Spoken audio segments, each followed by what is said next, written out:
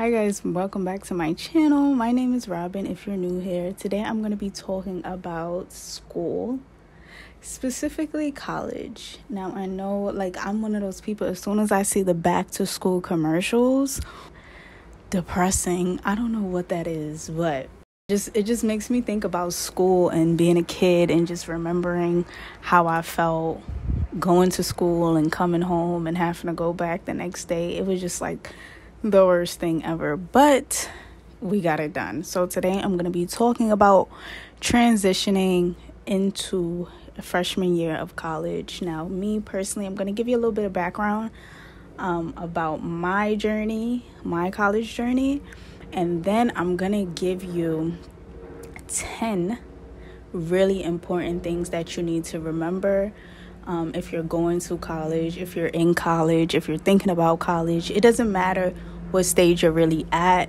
Um, that's what I love about college is that it doesn't matter how old you are, these tips will help you. So, I'm from New York City, so a lot of my topics might be like New York related. Um, still apply it to where it needs to be applied. So that's that's an important thing you need to know how to do. But college will teach you how to do that, apply things where they need to be applied. It's an important skill. So, for me, the first thing I'm going to talk about is when I my freshman year of college. I am way past my freshman year of college. So when I when I graduated, I got accepted to Howard University in Washington D.C. Um, I decided to go with that school. I got accepted to so the application process number 1. So number 1 is you have to apply to your local colleges, your CUNYs, you have to apply to your SUNYs, and then you have to apply to your private colleges. So, depending on financially where you're at, you'll pick your private colleges. You'll pick all your colleges accordingly. Now, I will say something that's very important. Make sure, make sure, make sure you do your FAFSA and make sure you do your TAP because those two things will get you the grants and the scholarships and the money that you need to go to school and to be able to survive college. Like, for real. One thing about it is that it's very hard to be a young a kid. To me 18 is still a kid and to be a young kid and transition just into college from high school please you just finished getting allowance. Now you have to like set your life up. It's a joke. So I think FAFSA TAP very important to do.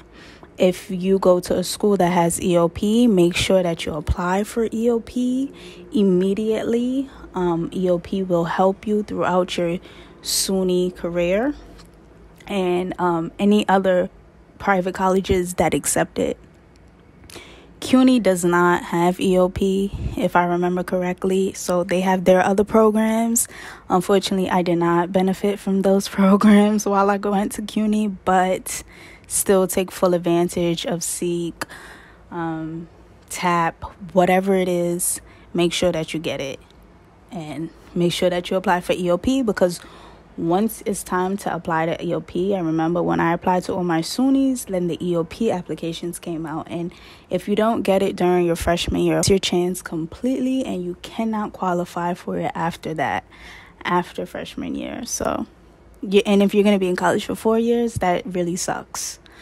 So, EOP, that's my first. That's my first tip. Make sure you apply for EOP. Make sure make sure not any other program EOP. Yeah. So, moving forward, I did not benefit from those programs because I went to Howard University. I decided to go to that school. That school is $50,000 a semester, so that was a big mistake of me to make.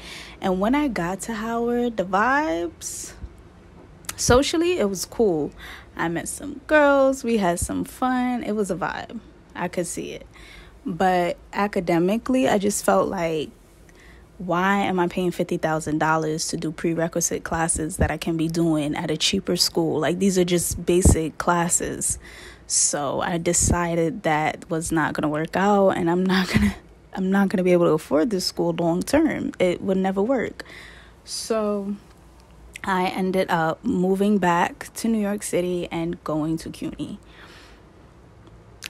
Okay, so I really I had to wait because by time August that August when I left to go to Howard and I came back 2 weeks later um I had to like wait because classes were starting. So I had to make sure I could get into school. Unfortunately I had to wait a semester to get into school and that really just made me so sad um, so I had to wait a semester. So I ended up going to Brooklyn College, and it was so far from where I lived and such a commute. And the college was really rough at the time. Like the classes I was taking, I remember I had an English class, and no matter what I got, what what paper I wrote. I just kept getting a C, C, C. Now I do not write C papers, so that's another thing that you really have to be mindful of. The type of school you're going to and the professors. Rate my professor is a real thing. Make sure you read up on your professors before you enroll into their classes. And if they're not available on the site um, make sure that if you're taking their class that you withdraw within the withdrawal period so that you don't lose your financial aid and you just would receive a W for withdrawing from that class instead of a D or F or whatever the case may be. So I had a bad experience there. Ended up moving around a lot. Um, waited the semester. Ended up transferring to City Tech. Went to City Tech. I majored in chemistry because I was pre med. Spent two years there. Got my associate in chemistry had all my prerequisites for med school, everything. But now it's time to get my bachelor's. Um, so at the time, they did not have any bachelor's programs for me. So I would have to go to another CUNY. I ended up going to City College, went to City College, got my bachelor's in psych. I really enjoy psychology and just, you know, learning about people and analyzing people and analyzing data research all of that. I just love it so much. So I decided after taking my MCAT and like getting the lowest score, um, I didn't have prep. I think I should have had some prep. That would have been very useful. But that's why it's important to plan and be passionate about what you want and be honest with yourself. Like, what do you see yourself doing for the rest of your life? Because it's going to take time to get there. So you don't want to waste your time. So I decided that I will continue my education in psychology and go on to receive my master's. So that's where I'm at right now. I have my master's in psychology and I hope to continue the journey. Now, as far as tips, I made a lot of mistakes and I just had to like kind of roll with the punches and do the best I can at the place I was at. So that's pretty much what I did, but it was an all a good experience and I learned a lot and um, I'm happy that I went to school because I don't know, I'm just one of those people. I probably would have wanted to go to school anyways. So I didn't feel like it was a waste of my time and I did something that I enjoyed and I did something that mattered to me. And I think that's my second tip. Um, do something that's really special to you. Do something that you enjoy people say that, you know, work is not fun, school is not fun, but it can be. So don't fall into that. Like, go to school for something that you enjoy. Yes, you have to be a student, and academia can be challenging, but you can do something that you enjoy and something that you love and something that won't make you sick. Um, doing it in school because what's the point of that if you're just going to get excuse me, if you're just gonna get sick and burnt out um, before finishing college, what's the point? So I think you really do need to have something that is enjoyable for you and something that you can do almost effortlessly. So that's something that I felt like I did, and that's something that I would recommend that incoming college students and current college students do. I mean, career changes happen, life happens. So you just want to always be like reevaluating yourself and asking yourself, like, hey, self, what do you want to do? Like, because you can really just waste your time and you don't want to waste your time or your money or your energy because energy is the most expensive currency don't waste it next thing i would say is to maintain a part-time job um, that's not something that i did so i would say maintain a part-time job if you don't have to take out any loans to go to college, do not take out any loans. If you could apply to grants and scholarships and financial aid, take full advantage of that and try to get a free ride through college because the resources are out there and you need to use them. Fourth, we're up to the fourth thing. I would say use your school's resources. Sometimes you can miss things because you just simply don't know they're available but use your time wisely and whatever resources your school does have see what you qualify for and use the hell out of it. Use it. Use it. Use it when you can. I don't care if it's the gym. Use it. Just use it. So that's what it's there for for you to use because i promise you you're paying for it some way somehow the next thing i would say is to be mindful this is like this should be number one, even though it's number five, but it should be number one. Be mindful of the company that you keep. Because in college, like people, you will have so many friends, especially if you're taking classes. Everybody wants to be in class, everybody wants to pass. People are going to be your friend. People are going to pretend to be your friend. You're going to meet some really good people and you're going to meet some really bad people.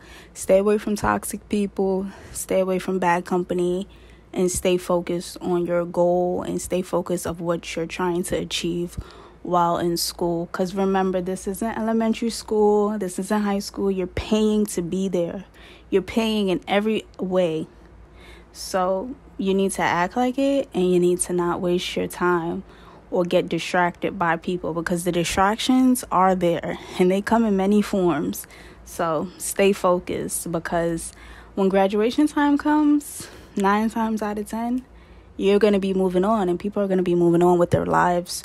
So don't get sidetracked or distracted to the point where you're falling out. You're, I mean, you're dropping out or because you fail classes or you can't keep up with your studying because you're partying or whatever the case may be. Stay away from toxic people, stay away from things that don't fill you back up and don't add to your value, if that makes sense. If it takes away from your value completely and doesn't add anything to you, you need to leave it where you found it. And that's it. Next thing is take advantage, just kind of goes with the resources thing. But number six is take advantage of your school resources, any organizations. Um, for me, like research programs was something I was really into. Be a part of some organization because what happens is if you're just focusing on school, you can kind of like, I don't know what to call it, but to be social and to like gain experience to your resume while you're in school, because that's a big chunk of your life. Um, join an organization that you enjoy, have a creative outlet, um, do something that makes you happy, do something that you know, can add to experience and can help you grow. Yeah. So I think that's important. Um, especially that creative outlet. Have a creative outlet like all the time in college and after because you kind of need that outlet to help you progress and to help you move forward. You can't just be focused on books. I really just don't think that's how you achieve what you need to achieve in college. And uh, number seven, um, books. When it comes to books, don't buy them books. Do not buy them books for full price. Try to rent them if they're at a less price. Um, what I noticed, like when I went to Brooklyn College, a lot of the professors had like these loose leaf special books that they made and printed and they wanted you to have and that you had to buy from the school library. You're gonna have some of those, but when it comes to like an actual textbook that you can find online, look for it online, do your research. I don't if you have to pay some money to find that book online, do it. Not don't pay them outrageously. I'm also gonna offer a service like that. Um, I will find your textbooks for you. And you should not have to. I'm one of those people, I used to like to read from the real textbook, but like, let's be real, you cannot carry that all day. And times have changed, so I could imagine you need to be on your phone or your laptop or your iPad. So, save your money and do not buy expensive books. Rent them and look online for them. Utilize the internet because we are living in the era of the internet. Next is number eight. What will I say? Um, I took some notes in my phone. Um, where did they go? Hmm.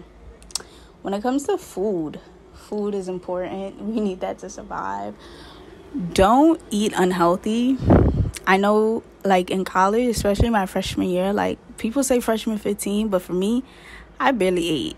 Like I was so busy running back and forth to college classes. By the time I got out for lunch, I would eat one thing and then I'd probably go home and eat dinner.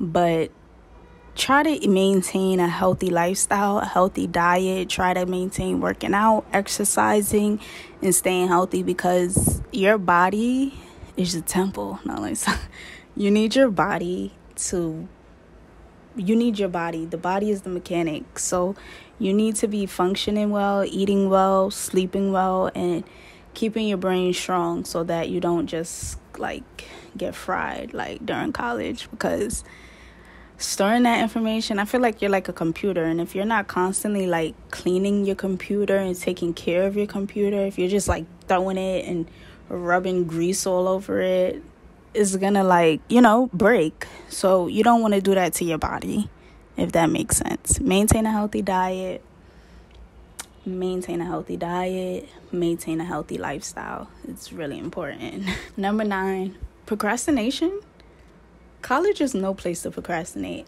Me personally, I'm the biggest procrastinator. I am the biggest procrastinator, but listen, it takes one to know when. I will get it done, and I, I will more than do it. I am like always working on it in my head, and it's not a joke. So, if you're not skilled in a certain area, give yourself time, give yourself practice, and do not procrastinate when a chapter is due, make sure you're reading it a week prior. You got the syllabus. You're supposed to be ahead. Don't fall behind. Like it's really important. Like you want to always like be ahead. Not even on time. You want to be on head. Attendance, you don't want to just be on time. You want to be in class outside of the classroom at least 15 minutes earlier than the actual time the class starts because so many things can happen, I promise you. So, no procrastination. We're giving ourselves time because we like we like uh, to have a calm mind. This is a time, it's a very crazy time in life. A lot of mental health issues happen during this stage of life. So you have to be delicate with yourself, and that's just being honest and real. You have to be delicate with your mind, and you cannot let it you cannot break down you cannot break down for the sake of college. You have to like stay on top of things, but give yourself time and do not fall behind. So I think it's really important not to procrastinate because we're going to eliminate that whole word altogether. Just give yourself patience, give yourself some grace, and just try to give yourself time to study and to complete your work and to attend school. And um is that number 9? Number 10. Oh my god. Attending school, that's a that's not even gonna I'm not even gonna go there. Like if you shouldn't even be watching this video. Nah, attend school. Attend school, don't waste your time. Attend school or don't waste your time. But seriously, number 10 is I know this is a difficult time in life, but it's also probably so fun. So you want to take yourself seriously, but you want to have fun. And that's why I think it's important to do something that's enjoyable and that brings you joy and something that is easy on your mind because there's no reason to be carrying more than you can handle. Like, no. So that's what I have to say about college and my college journey. I'll probably do some more videos like this because I'm I feel like I'm still a student. So and that's another thing. Make sure you use your student discounts on everything outside of school, in school, when you're shopping, be on UNiDAYS. Um, what's the other ones? I can't remember them, but use them. Use that student discount and get your stuff.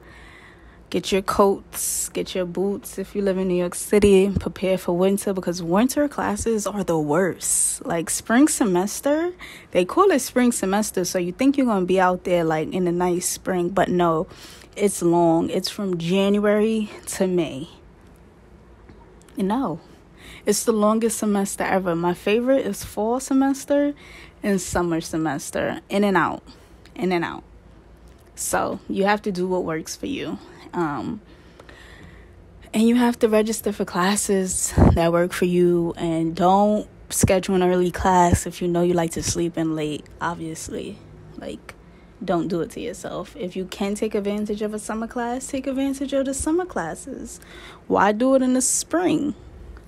But that's all i have. I hope i didn't miss anything and i'll thank you Thank you all for watching and listening to me. I wish you much success through all your future endeavors and your college journey. You got this, and I'll see you all in my next video.